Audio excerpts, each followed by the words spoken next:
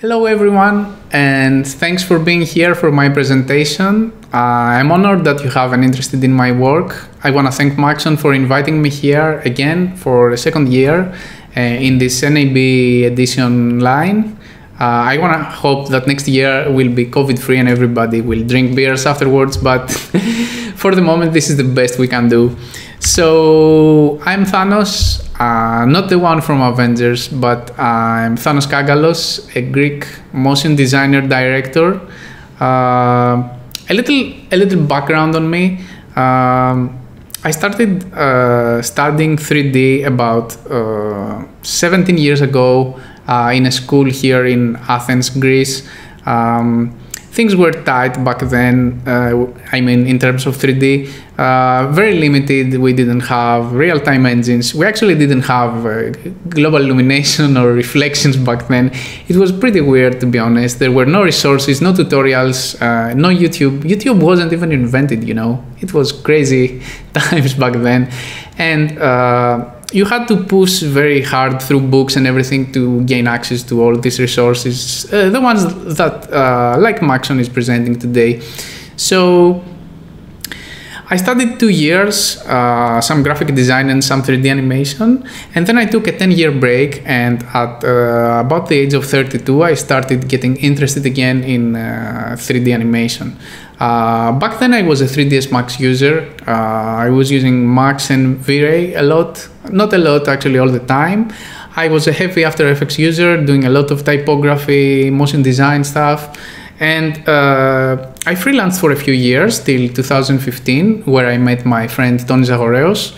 And we freelanced again for uh, till, 20, till two years ago, actually, where we co founded Yeti Pictures. Uh, now, I'm not talking as a representative of Yeti Pictures, but I found my new path again uh, as a motion punk. Motion punk is my new brand. Uh, it's my alias as a freelancer, and uh, I'm trying to do a collaborative studio with artists from all over the world. Uh, now it's a great opportunity since uh, COVID has uh, I know it sounds strange, but since the the the, the online and and and the, how is it called the remote let's say uh, work uh, is uh, everywhere, it's much easier for me to collaborate with great artists and not just look people uh, that live in my town or uh, next to me or can, can come to the office. Everybody's home now, unfortunately, is the office, but that's also a good opportunity to make new relationships and new networks with people. So that's Motion Punk. And let me show you a quick show reel that I prepared. Uh, it's mostly jobs from Yeti Pictures and some new stuff of mine, but uh, it's it's not actually that new. But I had to show something, so take a look to see what I'm actually doing.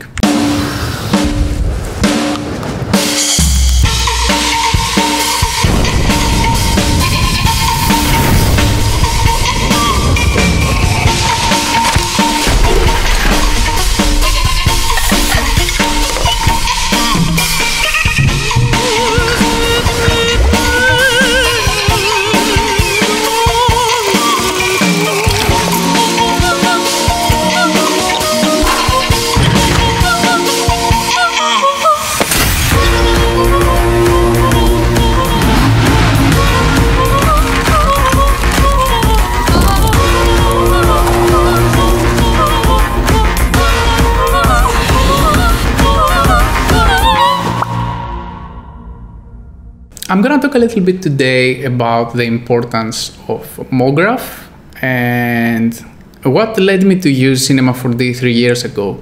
Uh, in 3ds Max, I was feeling pretty limited because I had to pre-design and pre-plan everything, and it was actually a hard software uh, with a lot of crashes and everything. I'm sorry. I just want to be fair with my experience here. So I felt that uh, the MoGraph module of Cinema 4D that could combine the dynamics and everything and cloners and scatter and all that would be ideal for me. So I started using Cinema 4D and Octane back in 2017. Um, you've probably seen one of our first projects that I did with my buddy Tony called Mad Scenes. And uh, this is my very first entry within the world of Cinema 4D, which there I try to use everything particles, uh, all the plugins to see what's going on with the software, why it's so uh, so famous and why people love it. And I immediately fell in love and I started doing uh, stuff like this. So besides MoGraph, what I'm gonna talk a lot about today is XParticles. And XParticles is probably the best plugin out there for Cinema 4D. It's not only for particle work, but you can also do fluids, smoke, you can do type of VFX work inside Cinema 4D. Uh, but also for design purposes it's great. It can lead to lucky designs. Let's say you can do stuff and suddenly oh this is very cool. And from an error or something you can have a very very nice artwork. So xparticles is essential in my workflow. I actually do a lot of this kind of stuff uh, that you will see also later on. And I'm going to start by showing you a project that we did last year with Tony, a personal project, and this is called uh, Fruitless huh?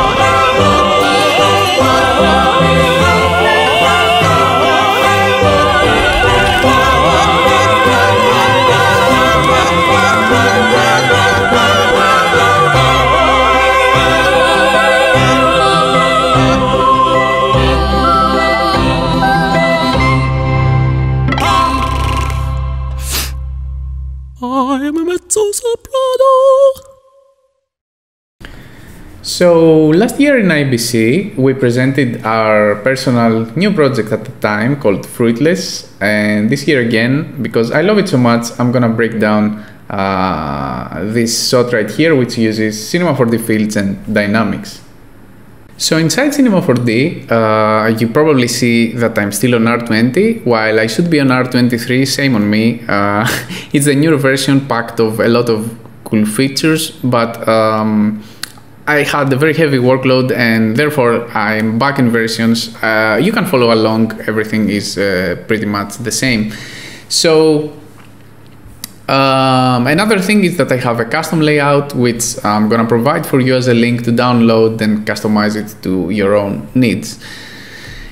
Here I already have set a cloner object and I have some fruits here, some model fruits. I have some high poly objects and some low poly objects. And the workflow I'm using is that I'm uh, I'm taking the low poly objects and using them to do my calculations. And at the very end of everything, I am using the high, uh, I'm replacing them with the high poly objects to do my renderings. So let's get started. Uh, as you see, my cloner is on a grid array and I'm gonna add the random effector, what else, and uh, randomize a little bit the position of the clones. Let's say something about there. I'm gonna randomize the scale of the clones a little bit. And yeah, let's call this one random uh, PS, that stands for position and scale. Try to keep this as clean as possible because when you start adding a lot of stuff, uh, you don't know which belongs to which belongs where. So yeah, try to name your things. And I'm gonna add the second random effector, and I'm call this one underscore ratio. And in the second random effector, I don't want any position, but I want modify clone uh, parameter.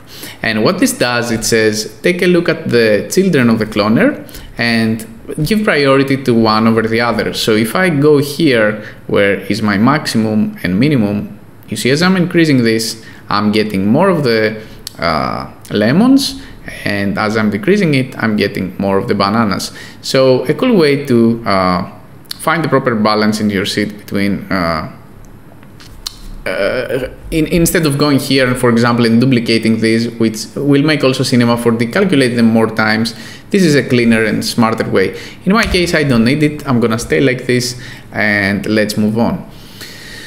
I'm gonna add some uh, a rigid body tag to the cloner. I'm gonna go where it says collision individual elements set this to all and press play. And boom my objects are being affected by the gravity and while they go down i don't want that. I'm gonna go to this force tab and increase the follow position and follow rotation which as the words suggest uh, objects try to follow their initial position and their initial rotation. Uh, what i also did in my project i had a little bit of drag. So yeah, as they're first colliding and exploding a bit, they settle down very quickly with the drag. So I'm gonna introduce now some turbulence and increase it a little bit. And I'm gonna increase the timeline a little bit so you see the turbulence clearer. So this wavy force here is just our initial initial turbulence. Just a little bit to make things uh, a little more alive, let's say. From there, I duplicated this turbulence and I increased the strength to a ridiculous amount of, uh, to a ridiculous strength, let's say, and I have this crazy effect, which is not at all what I want. But what I can do here in the second turbulence, I can go to the fall and introduce some fields. And fields are areas that uh, define where this turbulence take place. In my case, I'm gonna use a torus field. And if you see, let me go here on the side, wherever this torus field is, uh, the fruits are being affected by the second turbulence uh, as, and so on and so on. So I'm gonna stay here on my top view again and I'm gonna keyframe this. I actually gonna make the torus zero by making the radius and thickness to zero.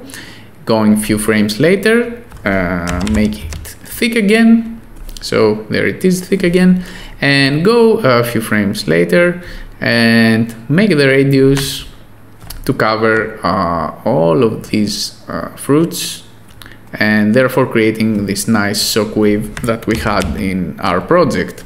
So let's take a look how this affects things because this is actually the basis of this effect. Yeah, there it is. So one small turbulence that makes everything more organic and one much uh, uh, stronger turbulence that steers things up as it from the center outwards. And um, in order to make this effect a little bit more spicy, I'm gonna select my cloner and I'm gonna add a plane effector. And uh, I'm gonna call this one uh, plane underscore s which stands for scale. And I'm gonna disable the position. I'm gonna enable the scale, let's say something like 0.5, and now it affects all of the clones together and makes them bulgy. and oh, I, what I want though is to connect this with this uh, torus field. So here there is a small uh, issue that I want to clarify. Uh, prior to R23, uh, when you have um, dynamics and uh, and cloner and effectors i'm sorry after the dynamics uh, the effectors only work on the initial uh, position of the clones. What i mean by that if i share in this plane effector in the fall of this torus field which is down here and the initial uh, position of my clones is here uh, take a look. The plane effector will have next to zero effect right now because um, it's not actually going to the initial position of the clones. So in R23, this is fixed with some custom, let's say, uh, not custom, I think it's a new effector or something that uh, Maxon made and it's really, really cool and solves this problem. But in my case, in order to bypass that, I'm gonna duplicate this torus field, make it here so I know it belongs to this effector, make it around there where is my initial position of the clones. And now let's go back a few to our top view and let's see. And as it passes, uh, sorry, I didn't apply that actually. I'm gonna delete this one and apply this one. So as it's passing, there we go, our fruits are scaling up and they're also changing their color. Let's first change their color to something like you select the field and go where it says color remap and change the color to something more yellowish. And let's add the decay field on top.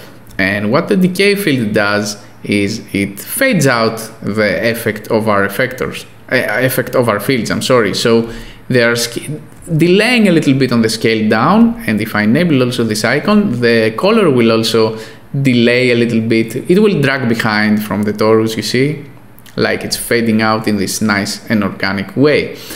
What if we want the color to stay uh, and the deformation to just uh, not to affect the deformation but only the color? We disable this icon and this means the decay affects only the color and if we set it also to 100% the color will permanently remain uh, to the clones. So there it is. You can just grab this color information now and pass it to uh, to your render engine. And for as a final step, let's say this is your final simulation. You go here to your uh, cloner object and add this MoGraph cache tag. And the reason that I'm adding this and not casting the dynamics alone is that uh, because I have also color information, this tag bakes uh, both the color and the dynamics together. So as you see, as it finishes, it also calculated the dynamics, but this tag also contains uh, right now uh, the color information of everything. And I do this because if I switch from instance to render instance, we have a wrong representation in the viewport. This doesn't mean because this is cast, my original color information is there, but I have to, to turn this to render instance for better performance because now that I'm finished, I'm gonna take the low poly objects out and drag the high poly objects in, and now I have my final effect. So Keep in mind that because this is a very heavy, you see, geometry uh, to calculate, this needs to be set as render instance. Therefore, you have to MoGraph cache uh, both your dynamics and color, change the render instance and replace the high objects instead. So there it is, uh, very simple, some turbulence, some fields, some very, very basic effectors. Uh, yeah, let's, let's move on to the next uh, tutorial. Another project that I want to break down with you is uh, this Pitatakia snack commercial. I know it's an old one, but uh, since I have a lot of NDAs with my new stuff, I need to revisit some old stuff to show you some techniques uh, that I find interesting uh, to showcase uh, in today's presentation. So let's take a look at the commercial and let's dive then to Cinema 4D.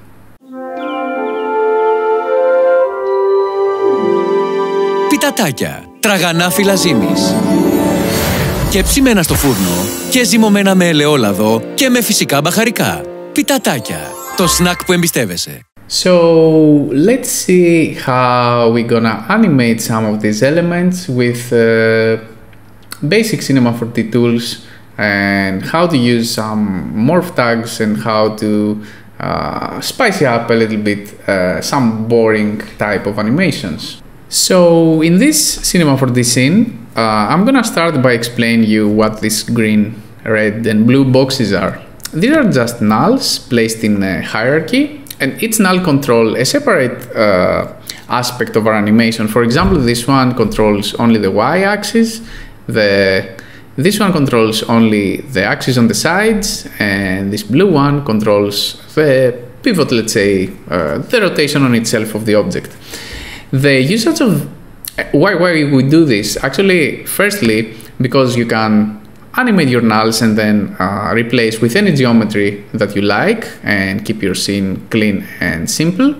And the second reason is there is this problem in 3D animation, not in Cinema 4D specifically, which is called gimbal lock.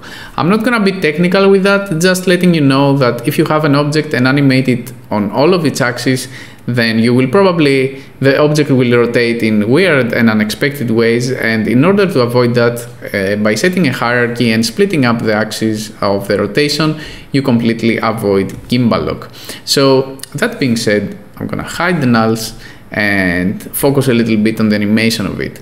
So while the animation looks uh, nice, Uh, what doesn't look nice is that we are missing some secondary motion, some squash, some stretch, some bounciness, you know, all that stuff that spicy up uh, your animation.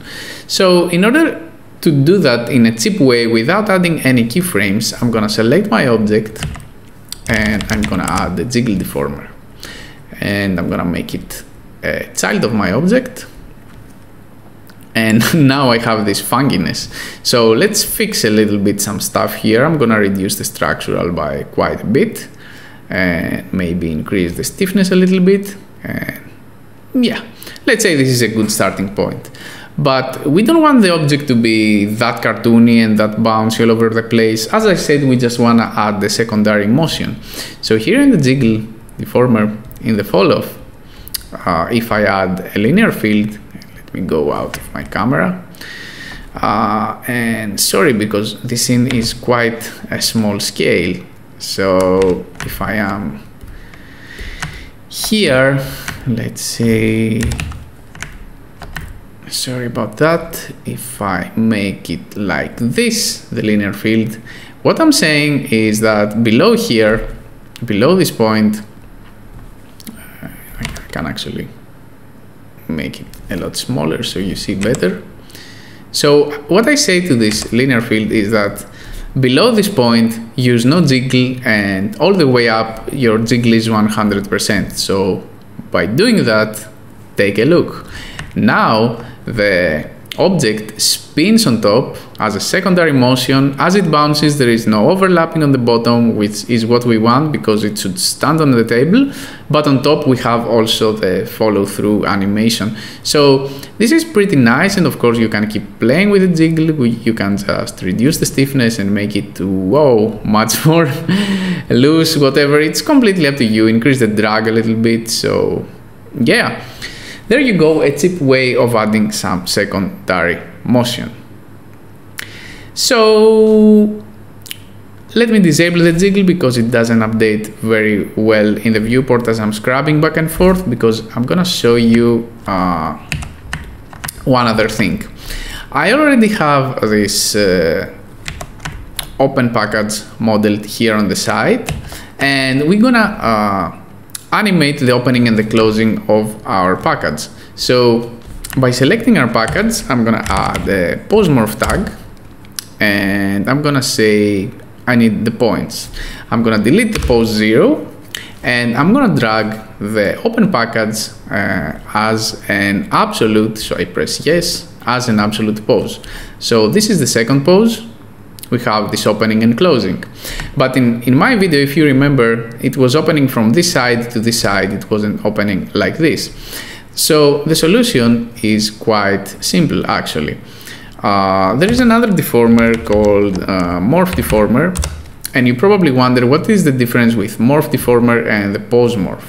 Uh, the morph deformer uses the pose morph, uh, it's already applied in here, and uses a, it can use a fall off in our case uh, a linear follow field. So let me make it something like this. And let's take a look what this does. So whoop you see the effect right here? So you can start like this let's say um, on this frame. And where it lands let's add the keyframe go a few frames later and pass this through. Add another keyframe. Let's go back to our camera. Let me hide all of these things right here and let's take a look. So the package is open and boom it closes up. If you have jiggle also on top of that it will close up a little bit more organic. So using the morph on let me actually uh, see it from this angle so you see Using the, the morph on top of the pose morph, the jiggle is a little bit uh, uh too much in our case. So, boop, take a look. Using the pose morph, the morph uh, on top of pose morph, you can control with fields how you open and close uh, packages, for example, along with many, many other usages, of course. Uh, just this is a simple setup that I many times use uh, because I'm doing a lot of pack shots and stuff like that. So that's the basic, let's say, animation of this. Let me enable the jiggle again, so I like it more with the jiggle. And um, let me show you how I have this, uh, the attack also going behind the package. I have a very simple helix spline and I have the pit attack here uh, on a cloner and I'm cloning onto this spline.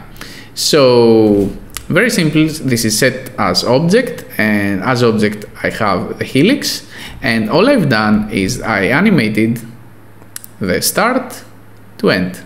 Very, very simple. So just like this, I have this very nice uh, and controllable effect uh, and of course, I can add effectors on that as I already have a random effector because by default you see this is the Pitatakia are like this on the spline, very uniform and very uh, fake.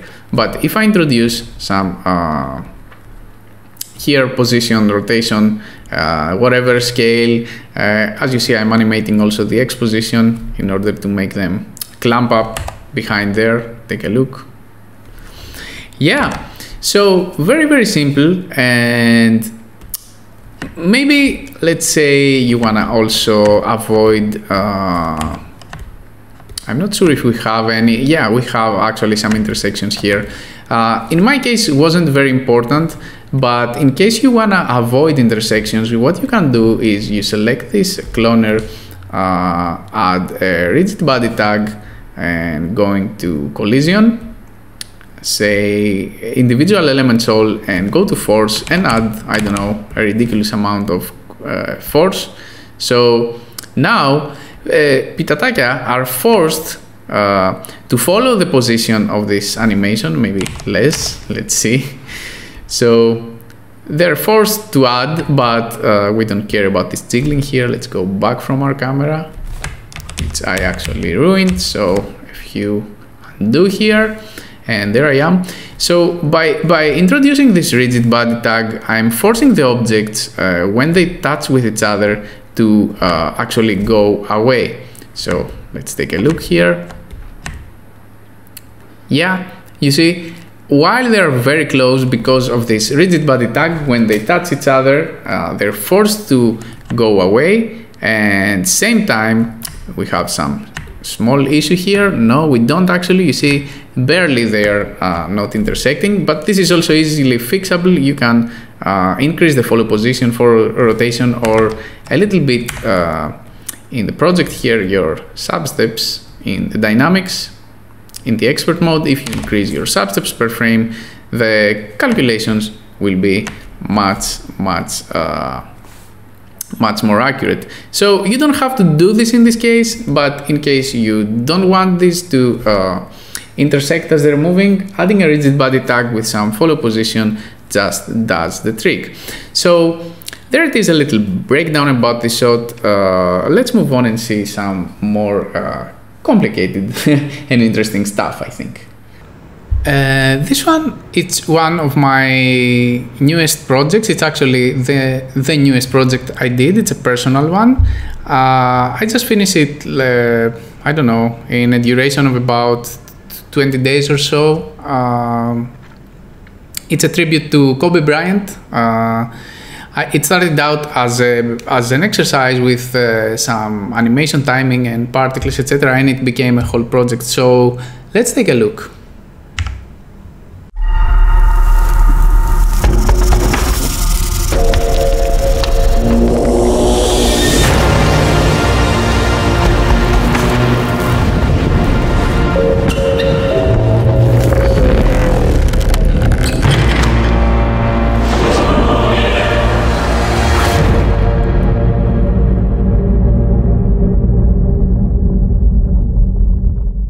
So yeah, it it was a bit emotional to do this one. I wanted to make a tribute as as uh, as uh, with as as much respect as I had for this great personality and great player.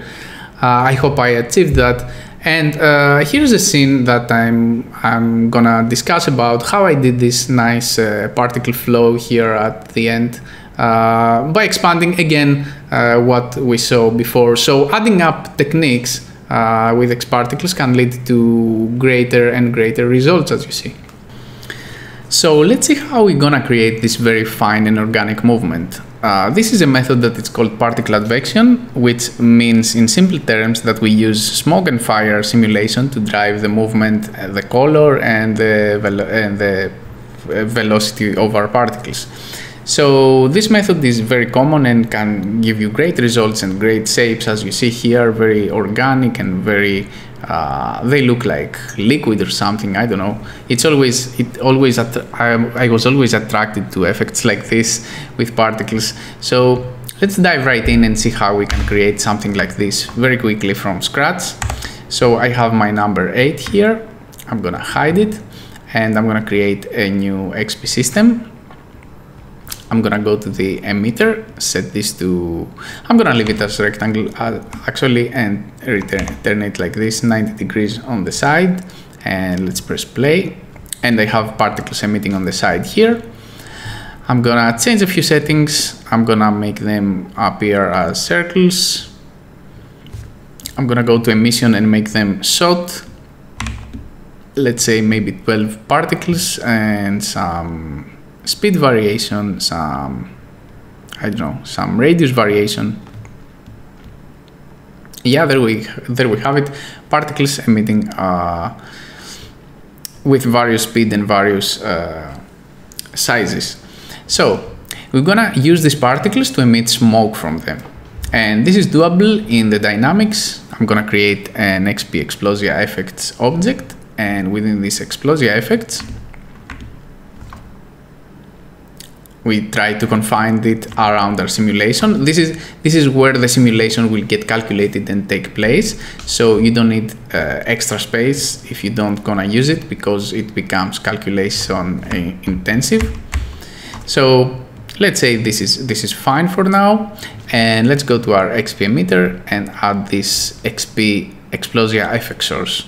And we don't see nothing because we need to go to extended data and uh, to physical data and add some fuel to the particles. So now with that, the particles are emitting fire and fuel as long as they are inside the Explosia FX domain object. Uh, a cool little tip here, uh, sometimes uh, you might wanna use this simple or cycle play mode for your timeline. In cycle, when it goes to the end, it reaches back to the beginning, but in simple, just stops at the end. And many times, if you're using particle simulations, you want everything to stop at the end so you don't have to uh, recalculate the sim all over the place uh, from, from the beginning. I'm sorry. So I'm gonna set it to cycle so we see what we're doing all the time. So there it is, we're having some nice smoke and particles uh, uh, dropping the smoke down, etc. Uh, if we want the smoke to go up, we need to go to Explosia FX domain where it says gravity. We're gonna place it minus and now the smoke will start rising up. So it's the opposite. A negative gravity makes the smoke rise and the positive gravity makes the smoke go down very cool. Uh, the particle size is really important here. Let's say if we have a much smaller radius, you see how much uh, smaller stuff we can achieve. Smaller, uh, let's say, tendrils of fire or whatever. And uh, another thing that is important, it's in the tag itself. It has a velocity and it's the velocity of the particle. So if I increase this to 400, you see that as the particles are being born, they are pushing the smoke in front of them just a little bit. So maybe this is something you want or something you don't, uh, completely up to you. Sometimes helps a little bit to drag the fire a little better along with the particle. So let's say we like this. Let's place it, uh, let's go to our top view and let's place it very close to our wall right here. Okay, and let's actually make this wall uh, clo a closed boundary. So the particles when they hit on the wall they stay there and react.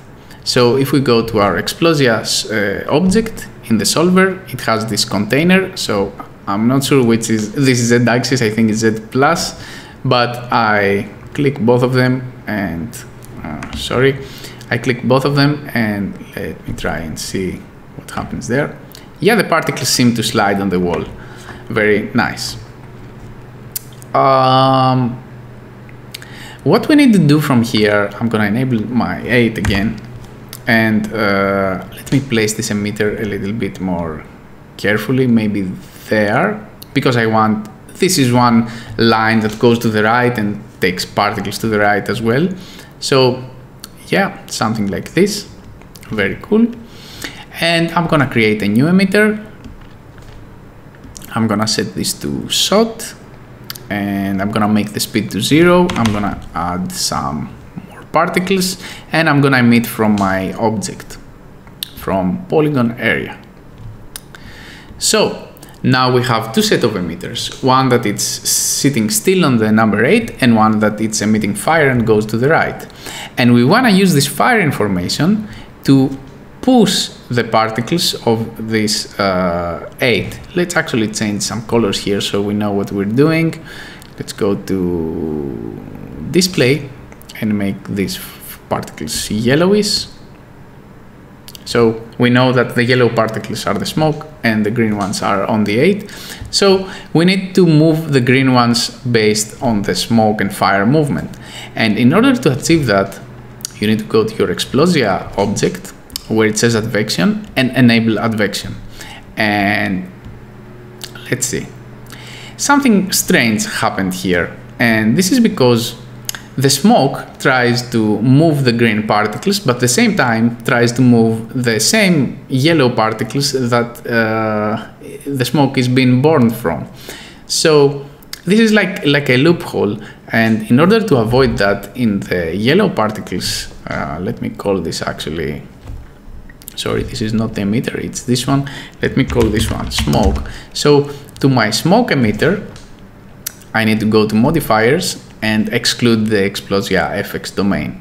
And now, in this way, these particles keep moving, but the smaller ones, but the particles on the 8 actually, uh, will still be affected by the movement of the smoke. And right now nothing is happening and let's let's check why. And this is because we are very very behind here with the domain and everything. So I'm gonna grab the domain and the smoke, I'm gonna go to the top and scoot it right about there. Okay very fine. And now you see exactly what I was talking about. Whenever the smoke collides with our green particles you don't have to see the explosion anymore in the viewport. Whenever the smoke collides and whenever the the green particles pass through the, the yellow particles pass through the green we're having this very nice and organic effect. And if we increase the amount of our particles to a much bigger uh, number, we're starting to have much, much finer detail. Take a look, I'm gonna pause it right here. Uh, take a look at the shape. How else would, would you be able to uh, make shapes like that? So all I did in my 8 I used various emitters uh, in various uh, positions in order to art direct this nice burst here and there. And on top of that, I went to display and I changed the color mode to gradient parameter. And I used maybe, I'm not sure, I think I used speed. So Based on the speed of the particles, some particles will be colored white and some particles will be colored blue. And then I took this information and I made uh, black particles and golden particles uh, in the rendering phase. So I know I'm just scratching the surface here just to show you what is possible and uh, what you can do with the setup. Uh, from there, I leave it up to you to experiment and make cool stuff with it. So where would I be without my ident? I mean, I'm playing so much with dynamics and particles and everything, and I had to put everything together in my ident. So as you see here, I'm having, again, a lot of, uh, it has a lot of advection and particles and smoke and dynamics and all that cool and fancy stuff. So I'm, as you see, my style is, is uh, tends to be a lot uh, experimental. I love doing uh, not that abstract, but mostly accidental uh, type of designs via other means instead of uh, the typical artworks you can draw in a paper and go and copy it in uh, in your screen. So I'm not gonna break down any of that for, for, for today because uh, I don't have much time and I wanna show you other cool stuff. So I'm gonna move on with uh, another aspect of my work, which is style frames. I do a lot of style frames, uh, realistic ones or wanna be realistic ones. Uh, I do more colorful stuff, more dark stuff. Uh, I'm always, I'm never in the middle. I'm doing either very, very happy or very dark stuff. I'm on, I'm living on the edge, let's say. So, one of one of my uh, favorite uh, things to do when I do style frames it's food. Uh, maybe it doesn't have any concept, but I love doing uh, realistic food stuff uh, like this. So this is a series of uh, ice creams and still life. It's a tribute to the Dutch masters. Uh, I love still life, as you see here. Uh, some frames are from commercial uh, works, and some. The top left is one frame, one of my favorite that I did two years, I think, ago. Uh, as, as a personal experiment and it ended up really well and since then i try to whenever i have time to do something like this to keep up with this uh, style frame collection Another project that I do, going from the dark side to the bright side, is called Silly Juice. It's a commercial project I did with NHS Studio uh, a few months back. Uh, it's a set of style frames uh, to set the mood uh, of uh, the brand, and these are all based on a very famous uh, designer called Peter Tarka. Uh, I love his compositions, compositional style, his colors, and everything. So I decided to do something uh, quite similar, um, trying to make some nice layouts with the fruits and everything. I also love food, as you see. So this was kind of an ideal project for me, and I had all the creative freedom, you know, to try stuff. Uh, okay, this is not probably the most original thing you can see, but uh, for example, I love to do artworks like this. Continuing again with the dark side of things, uh, I'm coming back to a project we did again with NHS uh, in Feb- February. It was a pitch for the Amazon Originals logo. Uh, unfortunately, we lost the pitch due to the geniuses in Panoply London. Uh, a great, great studio. You should definitely follow them up.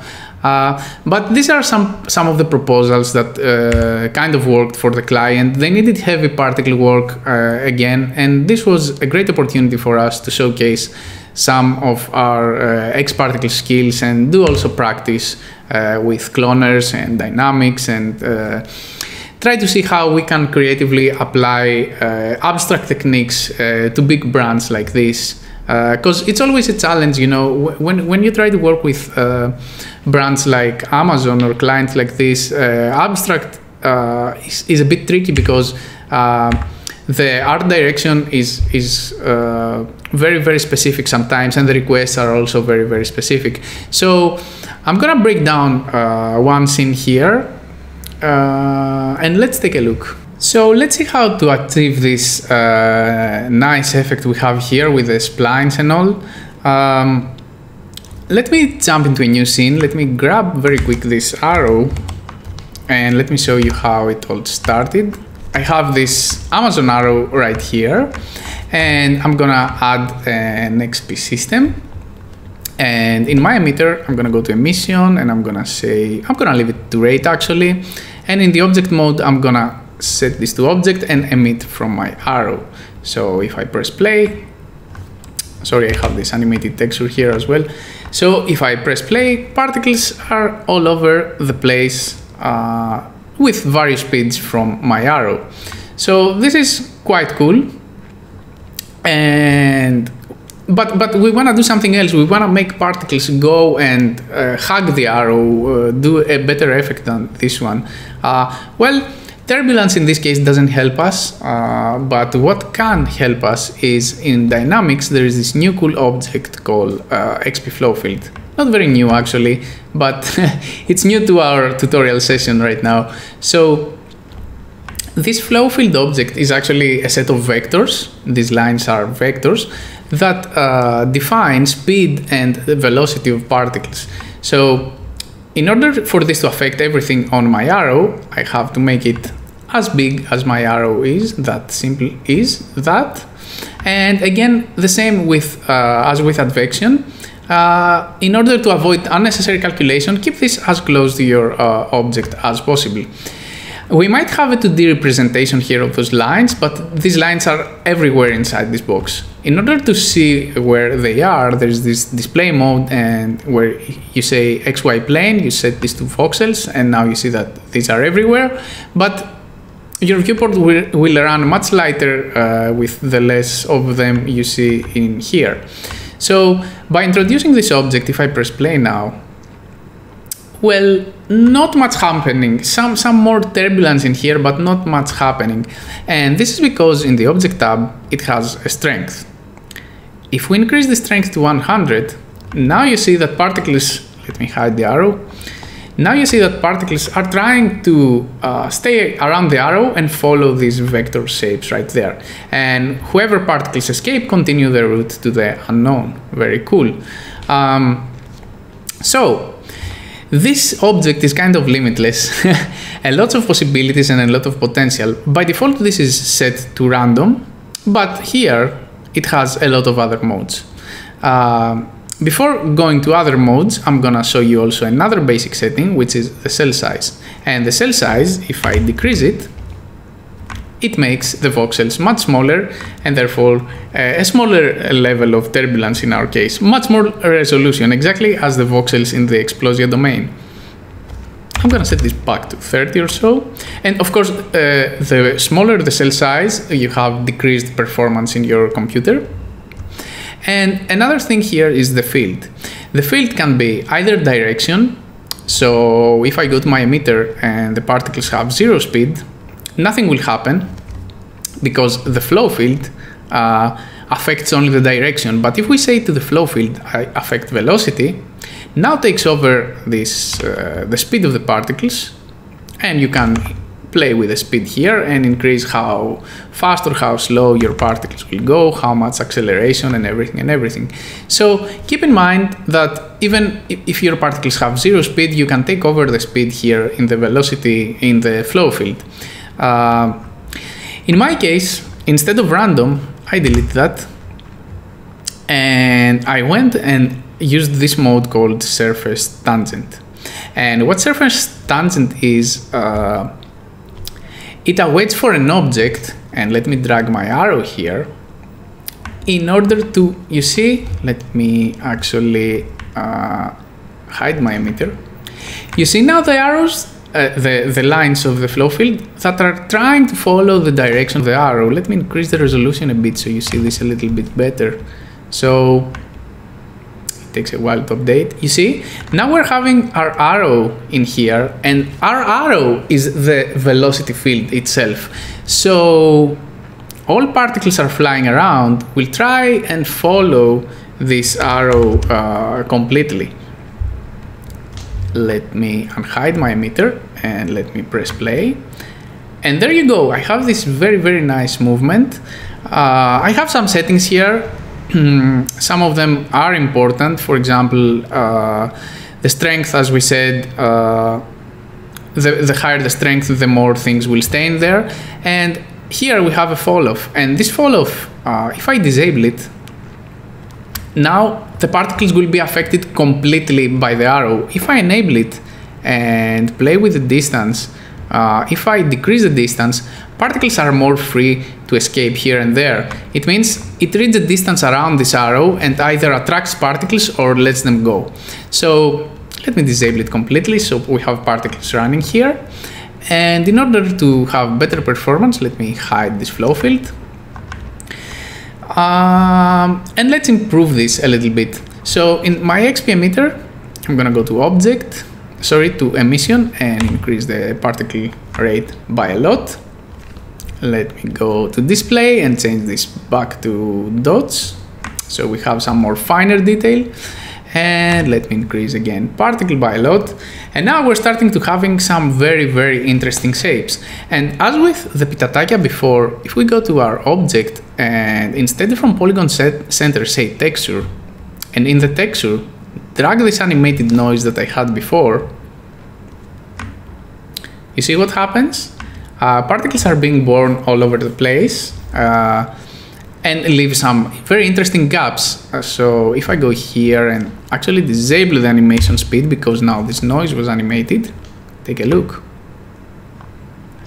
I have some very very fine uh, fine shapes like uh, right there. So let me increase the speed a little bit so particles feel faster, and increase the timeline a bit. So there you go. Uh, of course, you have the shapes that are escaping from the box. You can kill those particles, etc. It's not a problem. And this is all dependent on, on this noise. So for example, if I clamp it more and do some less brightness and change the scale, I have different parts of where this noise is being born.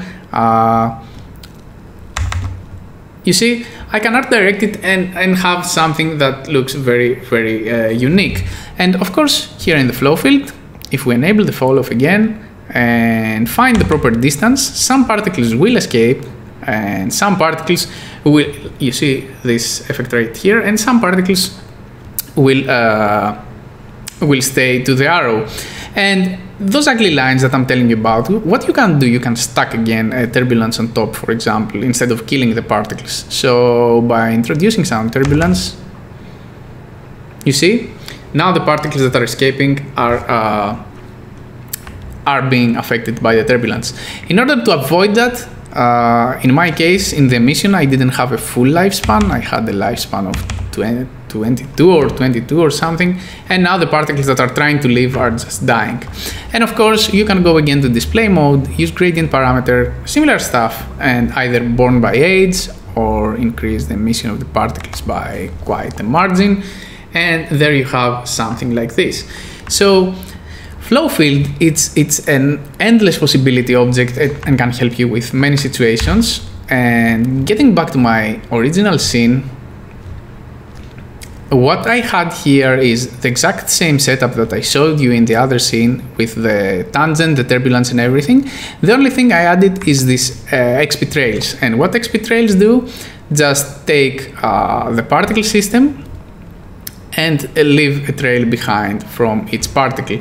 So I have two trails because I had uh, in my render a smaller, yeah, you see, uh, this one has less, uh, sorry, I have some update problems with my computer. This one, this trail is less and the other one is more dense, this one, which says no light, because in my render I had some particles uh, some trails that were self-illuminated and some that were not. So very, very uh, cool way of art directing your stuff. And let's play a little bit here with the lines to see what I'm talking about. If I go to my flow field, I have this distance here in the fall off. Sorry, let me make this up. If I decrease it, the lines will go further away much easier.